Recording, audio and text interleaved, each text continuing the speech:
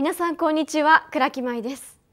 えー、先日の熊本地震の際には各国から皆さん温かなご支援を本当にありがとうございました、えー、今九州は一つになって復興に向けた取り組みを行っています。えー、九州には魅力あふれる商品サービスがたくさんあって、えー、世界に向けてテレビやインターネットイベントなど情報発信されています。